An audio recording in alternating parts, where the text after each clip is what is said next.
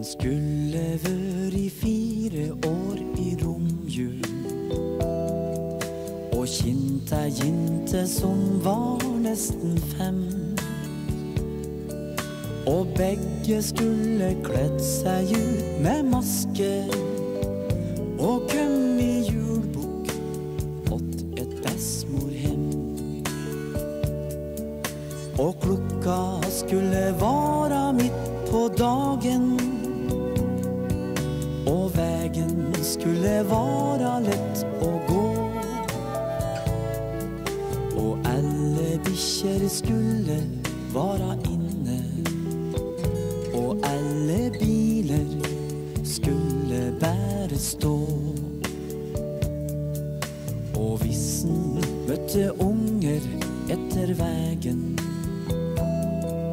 som gjorde narr og ville vara med.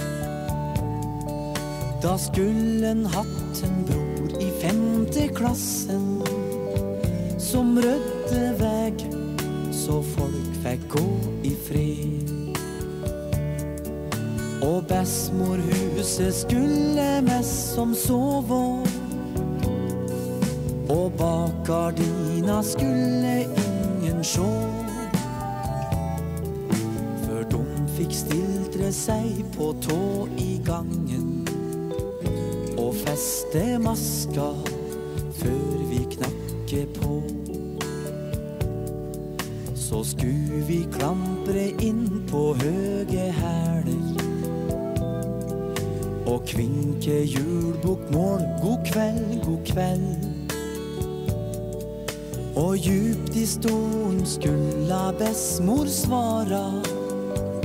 Så kom det julebukk åt en stakkar lell. En skulle vært fire år i romjul. Da julelysa brente dagen lang. Da verda var et hus med fire vegger.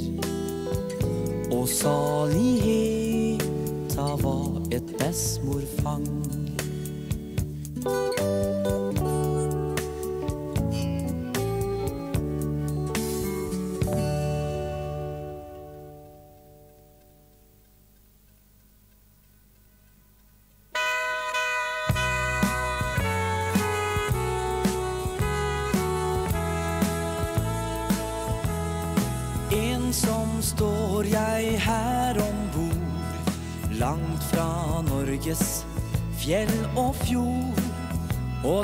Feire julekvelden på Hawaii.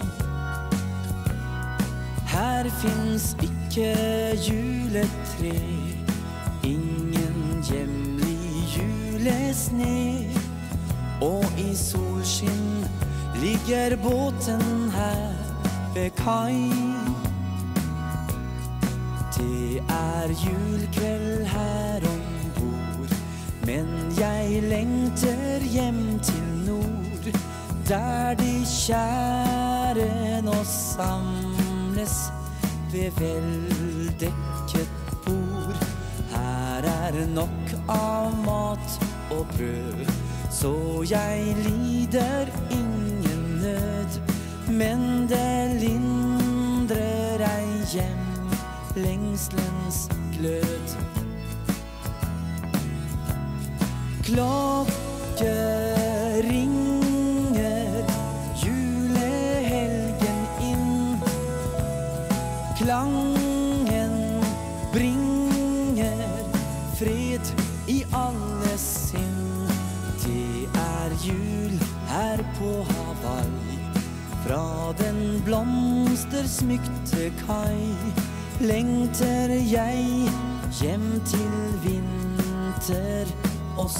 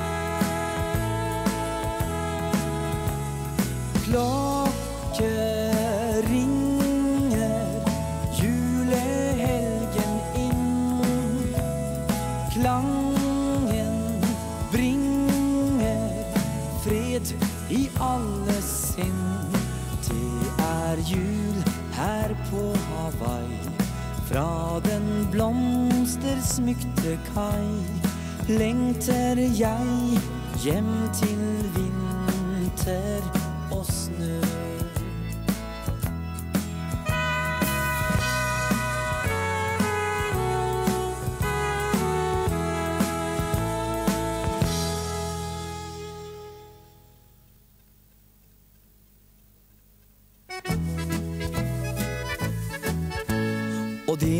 vesle Jensemann, han strever dagen lang. Han snekrer på noe spennende som snart skal bli presang. Nå er det bare kassebord, men gjett hva det skal bli. Et syvår slik som mor vil ha, med mange skuffer i. Det vil hun sikkert ha, da blir hun sikkert glad. Det er en nyttig ting, kan ingen komme fra. Men bena er det verste, for når han får satt dem på, så er de to for lange og de andre to for små. Han sager av, han sager av, til slutt så er det blitt en kiste der hvor mor kan gjemme strikketøyet sitt. Det vil hun sikkert ha, da blir hun sikkert glad. Og at det er en nyttig ting, kan ingen komme fra. En kiste er jo vel så bra, bevare dere vel. Da er det bare lokket som han ikke kan fortelle.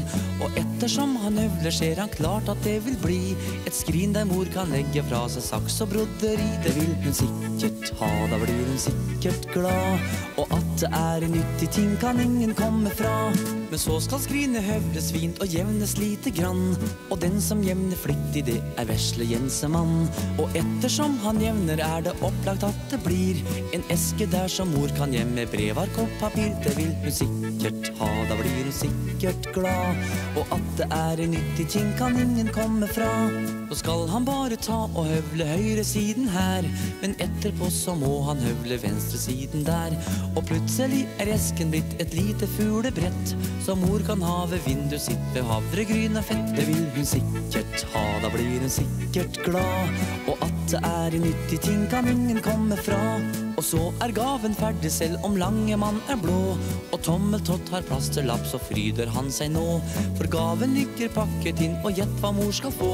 Ei spekefjøl som mor kan smøre skolematen på. Det vil hun sikkert ha, da blir hun sikkert glad. Og at det er en nyttig ting, kan ingen komme fra.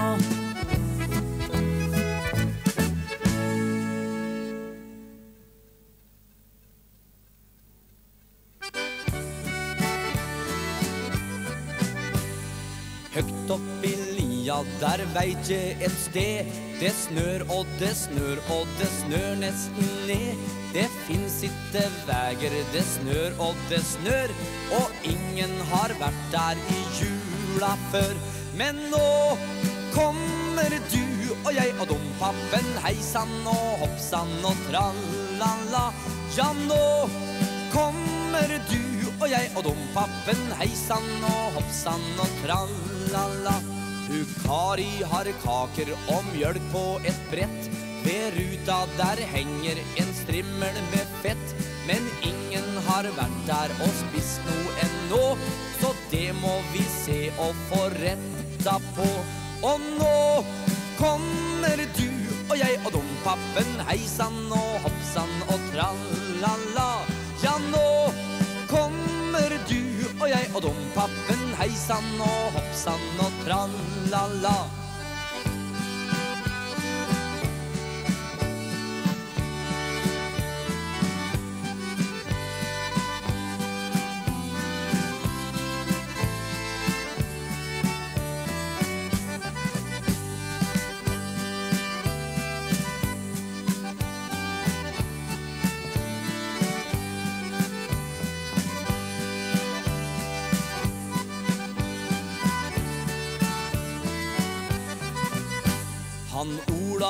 Satt opp et nek på ei stang og vil gjerne høre en lystelig sang.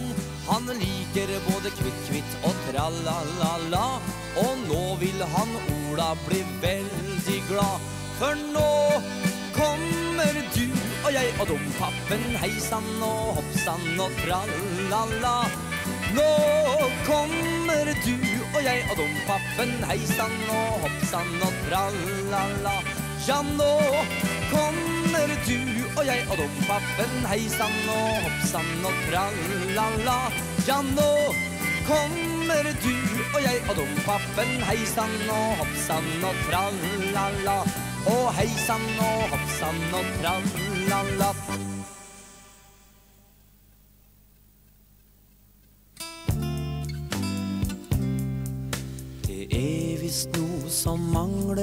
Rundt vårt julebord i år. Og alle sitter og tenker det er fælt og tida går.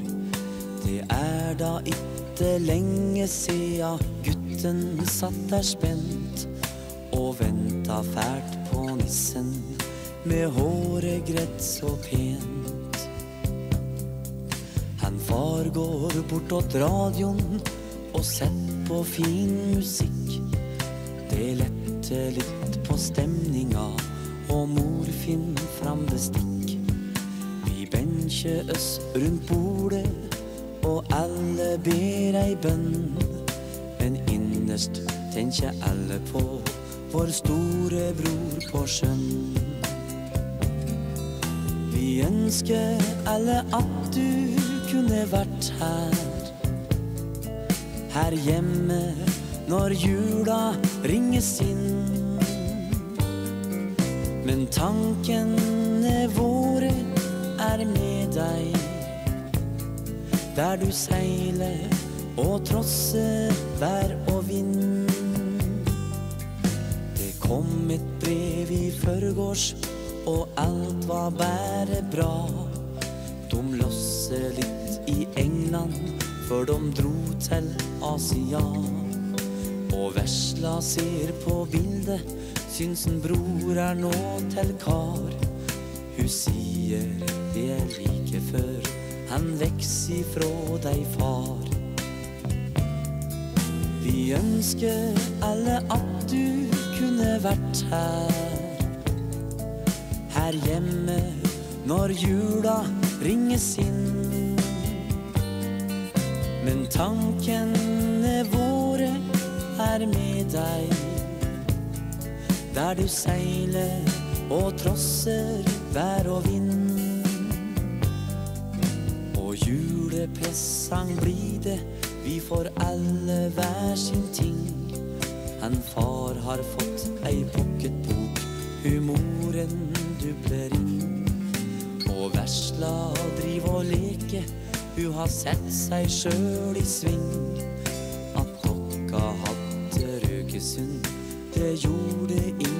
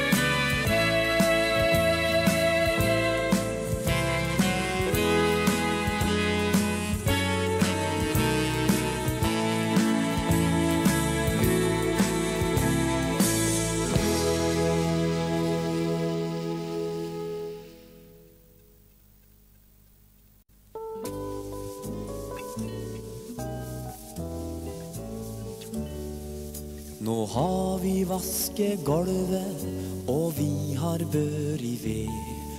Og vi har sett opp fugleband, og vi har pyntet tre. Nå setter vi oss og hviler og puster på ei stund. Imens jeg rukker vogna, så bror din får en blund. Dra krakken bortåt glaset, så setter vi oss og ser. Og prøv å finne leia der julestjerna er. Den blankeste ta alle, hun er så klar og stor. Du ser a over taket der a jordmor Matja bor. Hun er så snill, den stjerna, hun blunker kan du sjå. Og nå skal jeg fortelja, så du kan høre på. Den første gong hun skinte, så laga hun ei bru. milla seg og himmel og ei krybbe og ei ku. I krybba låg en liten gutt, så rein og blid og god. Og mor hans dreiv oss telten, og far hans sto og lo. Og gjetergutta der omkring, dom kute til og frå og bar med seg små lamunger som gutten skulle få sjå. Ja, til og med tre vise menn, de rei i flere tar. Og ingen visste vegen, og itte hende bar. Men stjerna synte leia på himmelkvelven blå. Så ingen ta dem gikk bort seg, og alle tre fikk sjå. Ja, det var første gongen som julestjerna brann. Og sia har hun brønni i alle verdens land. Og som og å som henne er stjerna like stor. Du ser a over taket der a jordmor Matja bor.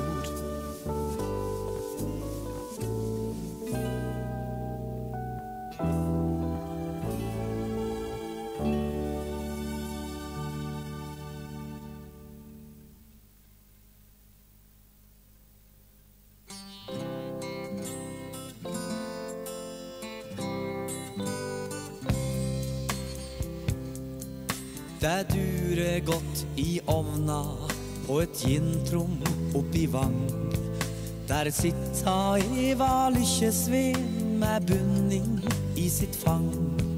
Det skal visst bli en genser, så vidt jeg kan forstå. Og øverst den rein og hvit, og nederst den grå. Hun begynte på den genseren den gang hun var på li. Da hadde hun det morosamt de kvelda hun fikk fri. Og han hun hadde følge med, var en vill og rastløs gutt. Hun rakk å strikke vrangborden, og dermed var det slutt. Så flytte hun til Leine og tok genserborden med. Og tjenesgutten her var snill, han lo og bar inn ved. Hun strikker bak og framstykket, det gikk i kut og kjør. Til gutten kom og sa han hadde selbugenser før. Og året etter var det hun flytte hit til Vang. Nå har hun strikkeermer og har lært i livets gang. Og åtte dager i dag til skal hun ha genseren klar. Og sende den som pakkepost til Jebbersen hans far. Til slutt så vil jeg råde de piger en og hver. Nevn alle råd du strikker på til gutten du har kjær. Men gjør som kloke kvinner ut i det høga nord. Smei genseren over huggu på'n, for han får sagt et ord.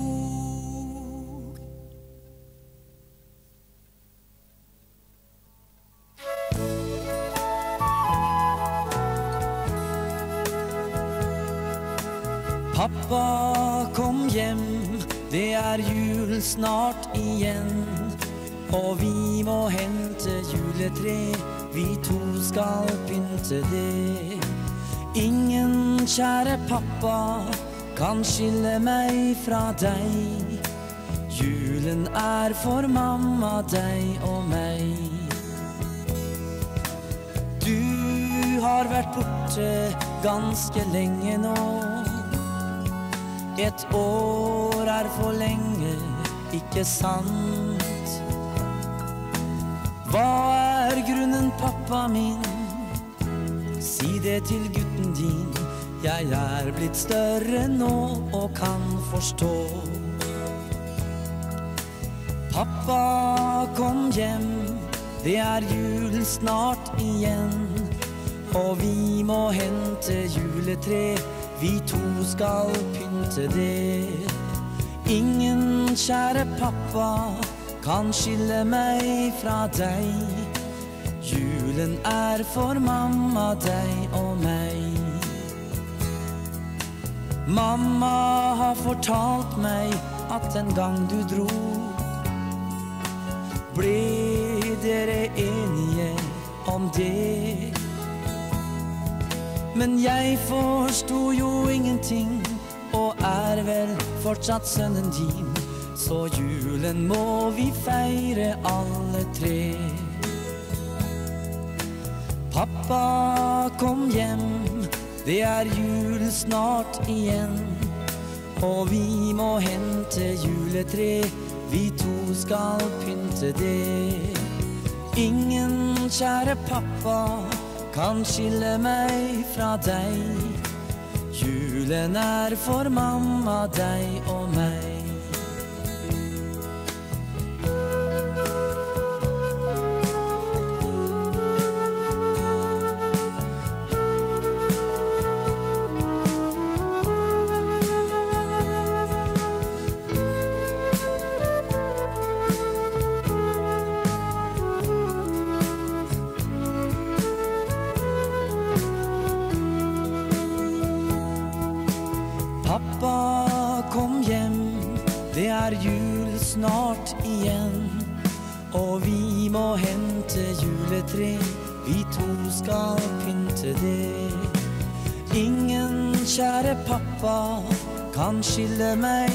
Meg fra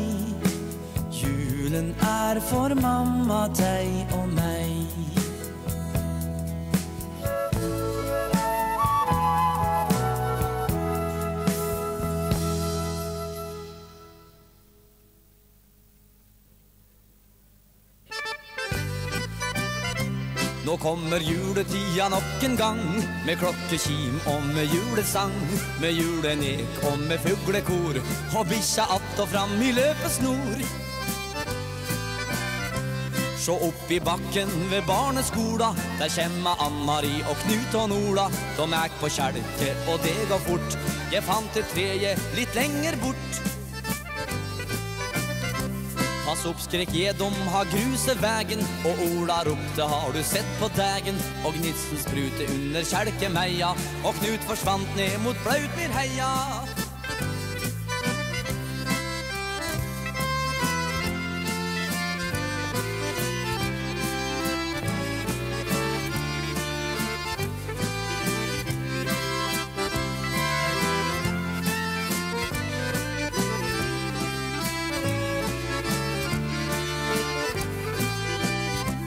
Nå lytter je hemma til julegrøten Og pusu få litt ta kaffefløten Og mor har funnet fram kjolen min.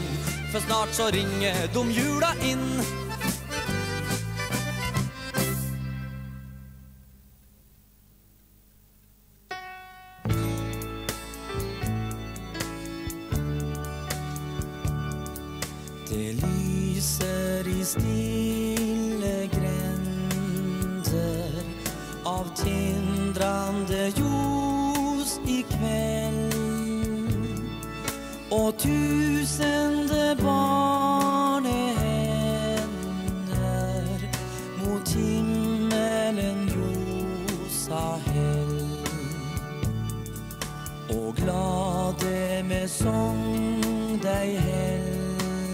helsar sin broder i himmelhall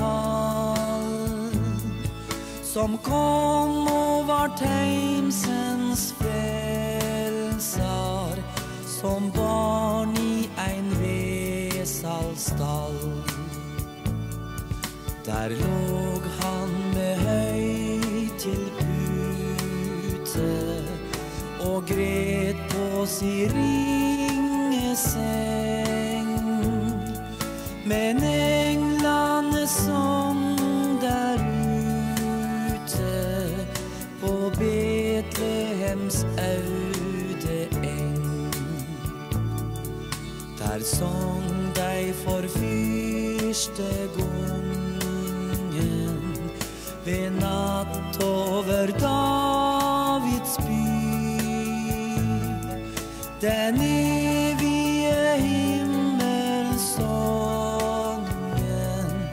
som alltid er ung og ny.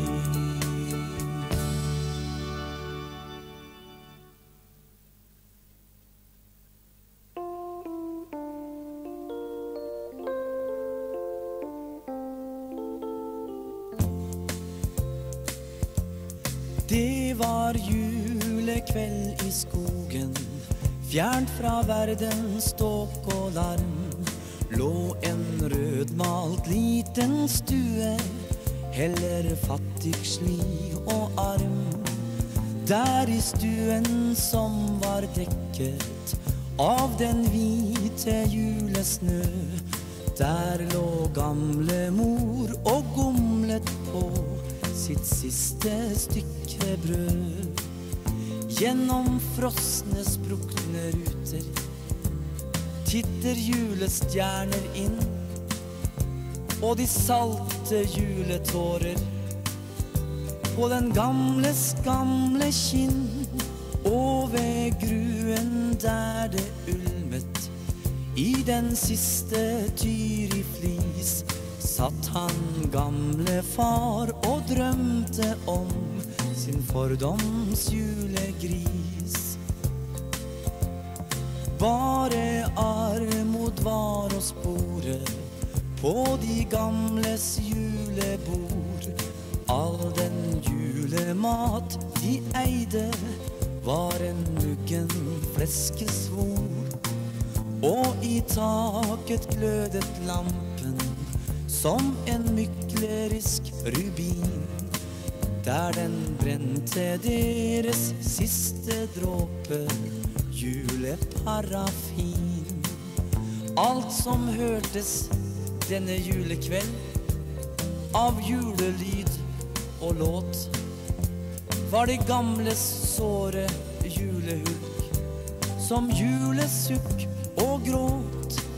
Over skogen ruget freden, kun en dompapp satt og svor i et julenek som viste seg å være fra i fjor. Da med ett av dumme bjellers klang ble julefreden brutt. De blir dummere og dummere, men tier så til slutt. Og på stien opp til stuen høres glade juletrinn. Derpå banker det på døren, det er noen som vil inn. Men det var nok ikke julenissen, slik en skulle tro. For der i døra, full av juler, og julestemning sto en person med pels, Amerika-koffert, briller og sigar. Samt en juleklump i halsen mens han hvisket mor og far.